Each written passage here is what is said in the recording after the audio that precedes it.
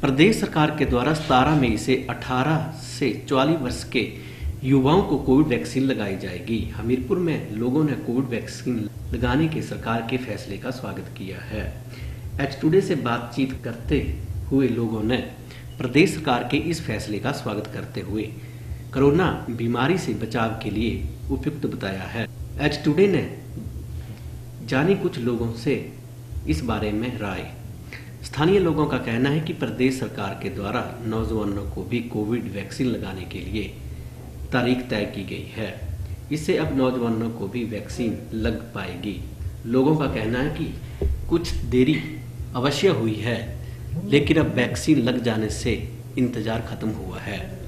युवाओं का कहना है कि सभी लोगों को वैक्सीन नेशन करवाई जाएगी और अब प्रदेश सरकार के द्वारा वैक्सीन लगाने के लिए तिथि तय की गई है, जिसके लिए युवा सरकार का धन्यवाद करते हैं। उन्होंने मुख्यमंत्री जयराम ठाकुर का भी आभार जताया है, जिससे अब जल्द युवाओं को वैक्सीनेशन लगाई जाएगी।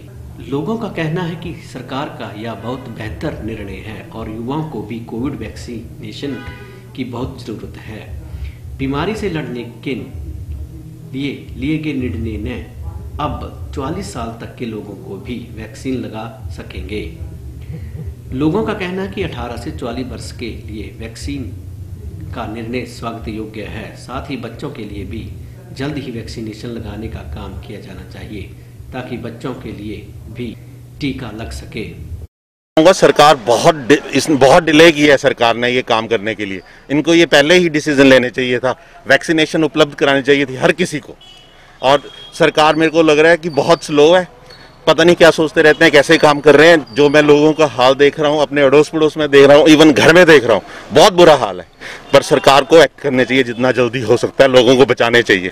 पर मैं खुश हूँ कि डिसीज़न लिया, पर बहुत लेट लिया कछुए की चाल से चल रही है ये सरकार। क्या मानते हैं चेन को तोड़ने के लिए क्या करना चाहिए? चेन को तोड़ने के लिए ये प्रोटोकॉल साले फॉलो करने पड़ेंगे सोशल डिस्टेंस बनाने पड़ेगा और मास्क ज़रूरी डालें सैनिटाइज करें हाथों को धोएँ और बाहर ना निकलें। अभी मैं भी आया हूँ पर मैं नेसेसिटी आइटम्स को लेने के लिए आया हूँ। कार से भी नहीं उतर हूँ। थैंक यू थैंक यू जितने भी युवा पीढ़ी है हमारी सब लोगों को वैक्सीनेशन करवानी चाहिए क्योंकि लोगों में क्या है कि सब लोग डरते हैं। मतलब हार्मफुल इफेक्ट्स देखते हैं वैक्सीनेशन के, कि मतलब लोग बीमार पड़ रहे हैं ऐसा वैसा। तो मुझे लगता है युवा पीढ़ी को आगे जाके खुद को वैक्सीनेशन करवा लेनी चाहिए। तो मतलब काफ़ी फ़र्क पड़ेगा हमारे इस पर लोग इम्यून होंगे तो घर पे नहीं बैठना है, सबको वैक्सीनेशन करवानी चाहिए। क्योंकि ऑलरेडी जो वृद्ध लोग हैं हमारे, जो ऑलरेडी सीनियर सिटीजन है, वो ऑलरेडी वैक्सीनेट हो चुके हैं।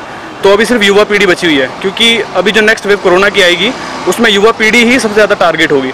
तो अगर पहले से लोग वैक्सीनेट हो जाएँगे तो सब कंट्रोल में आ जाएगा। तो मेन बात ये है कि सबको वैक्सीनेशन के लिए जाना चाहिए। हमारे मुख्यमंत्री हैं उसका आभार व्यक्त करेंगे कि आपने नौजवानों के बारे में सोचा और उनको जल्द से जल्द ये जो वैक्सीन है प्रोवाइड करवाएँ ताकि जो ये चेन है वो टूट सके और जो कोरोना का एक, एक खौफ है वो हमारे भी हमारे भी इससे निकल जाए और काफ़ी धन्यवाद मुख्यमंत्री जी का। तो ये इसका हम स्वागत करते हैं और हम हम सभी 18 प्लस 18 प्लस जो भी युवा हैं उनसे अनुरोध करेंगे, जल्द से जल्द वो टीकाकरण कराएँ और कोरोना की लड़ाई में वो सरकार सरकार का सहयोग करें।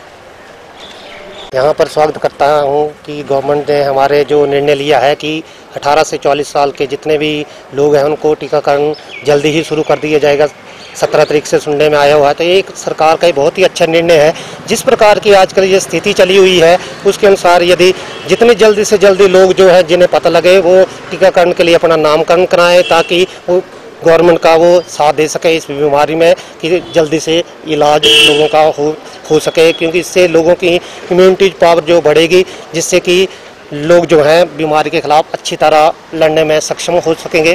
धन्यवाद गवर्नमेंट का एक बार फिर कि उन्होंने जल्दी से ये निर्णय ले लिया कि अठारह से चौतालीस साल के लोगों को जल्दी से जल्दी ये टीका का जो की सुविधा जो उपलब्ध करवा दी जाएगी। धन्यवाद। सरकार का अठारह और चौतालीस के बीच में, और मैं तो चाहता हूँ कि जल्दी से जल्दी जो बच्चों का डिसीज़न है, वो भी लेना चाहिए, ताकि हमारी आने वाली जो, ये आने वाली जंग जनरेशन है, वो इस महामारी से बच सके।